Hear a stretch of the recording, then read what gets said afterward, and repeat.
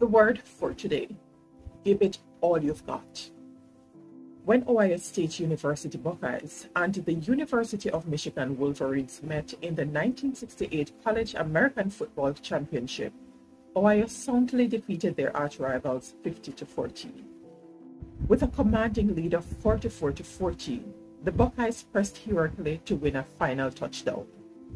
Instead of opting for the normal one-point conversion, the legendary Woody Hayes pushed unsuccessfully for a two-point conversion.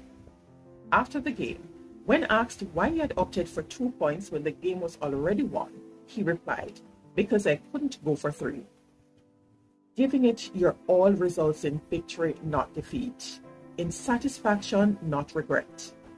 Enthusiasm is at the core of every worthwhile accomplishment. Paul writes, It is good to be zealous in a good thing always. Galatians 4:18. One disciple in particular was known for his enthusiasm, Simon the Eager One.